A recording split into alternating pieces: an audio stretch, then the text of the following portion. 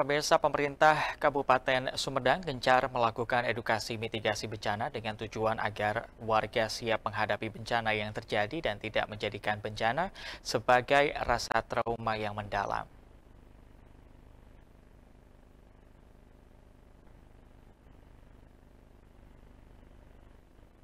Pemerintah Kabupaten Sumedang bersama BPBD Kabupaten Sumedang menggelar kegiatan sosialisasi pemahaman informasi dan edukasi mitigasi gempa bumi bagi warga dengan tema membangun masyarakat Kabupaten Sumedang tanggap gempa bumi di salah satu sekolah di Kabupaten Sumedang.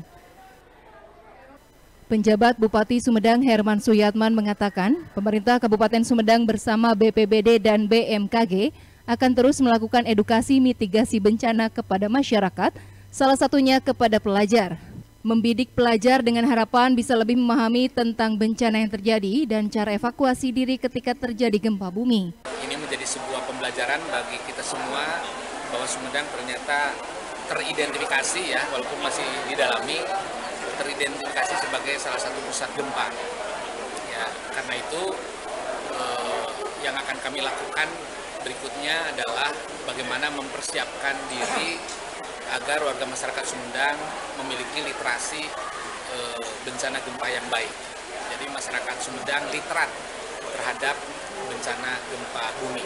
Sehingga apabila besok lusa ada kejadian, maka yang utama adalah kita bisa e, apa, menghilangkan risiko e, korban jiwa atau meminimalisasi korban jiwa ya karena masyarakatnya tangguh bencana karena masyarakatnya eh, sadar bencana waspada bencana.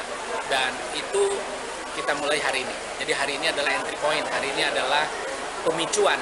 Hari ini adalah eh, apa hari pertama untuk melaksanakan peningkatan kapasitas warga masyarakat terkait dengan sadar bencana khususnya bencana gempa Dandim Sumedang Letko Kavaleri Christian Gordon Rambu mengutarakan dirinya sangat mengapresiasi dan mendukung kegiatan yang diinisiasi pemerintah Kabupaten Sumedang bersama BPBD tersebut.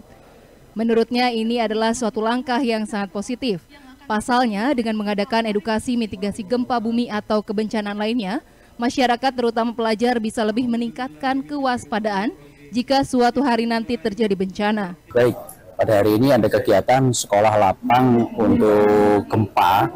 Ini ini adalah suatu acara yang sangat bagus ya bahwa selama ini di Sumedang kami semua masyarakat Sumedang juga tidak mengira bahwa Sumedang ini ada sesar atau patahan yang di bawah kita ini. Selama ini kami hanya mengira-ngira bencana ini yang hadir adalah biasanya bencana kekeringan ataupun bencana hidrometeorologi atau seperti banjir, tanah longsor.